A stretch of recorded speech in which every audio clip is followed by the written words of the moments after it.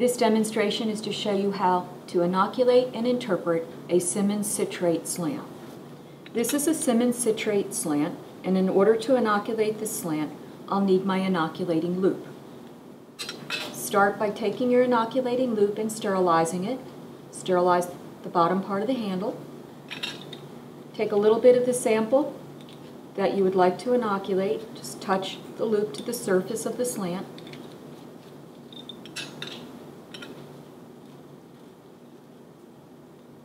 To inoculate this slant, I'm going to take the loop, place it at the bottom of the slant on the surface, and streak it back and forth as I go up the tube.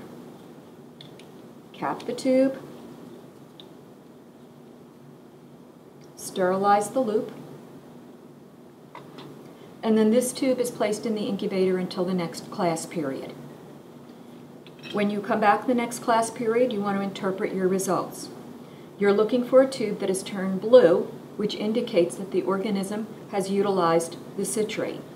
If the tube does not appear blue and appears green, it would be a negative citrate result.